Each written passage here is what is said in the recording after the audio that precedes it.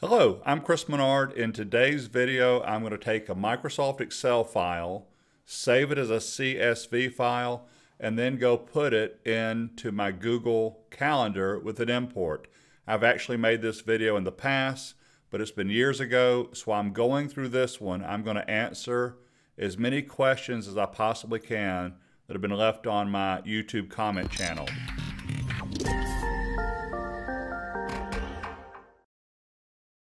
So let's get started.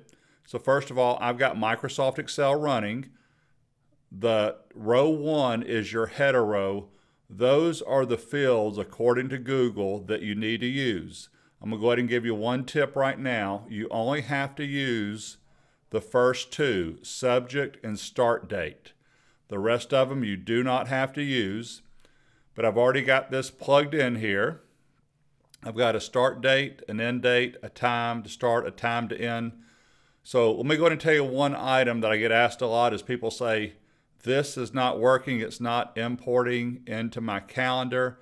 That is because sometimes these times, instead of showing up as actual time, they come in as text. They've got to be set up as time. So I did 9 space AM, 10 space AM. We'll make that one 1030 just to prove this. I'm going to save this CSV file. If you actually are in Excel and have it as an Excel format, that is File, Save As, and then this drop down right here, make it CSV. So you can't pull Excel directly into a Google Calendar. It's got to be a CSV file. So here we go. I should end up with a total of five events on my calendar. And they're all for starting today's date, the 16th, through next week just to test this. This file with the header will be available on my website also in case you want to download it. So let's close this. I already have Google Calendar running just to save time. So here's a big tip for you. Before you pull this stuff onto your main calendar, so my main calendar is Christopher Menard, to test it, go ahead and just make a new calendar. So I'm going to go to Settings and Sharing, Add Calendar, create a new calendar, Training Dates, Create. I could import this right now, but just to go back to show you this in case you've never made a new calendar. Now I've got a new calendar called Training Dates. So here we go, Settings and Sharing, Import, Go find that CSV file. Pick the correct calendar because by default it'll jump to your main calendar. Here I go. When I hit import, I should get five events. Perfect. Hit OK. Go back and let's take a look at the actual calendar. They're the events that I pulled in for today. And there are five. All right. Let's do test number two. One, so one reason I like using a test calendar, because I actually want to end up putting these on my calendar. So now that you know that it works, come in here to settings and sharing, and you could come up here and all the way at the bottom is how you delete a Google Calendar. I don't care for this calendar right here, permanently delete. So I still got my main calendar and now I would import them. One more test. I'm just going to pull these onto my main calendar. Back to Excel.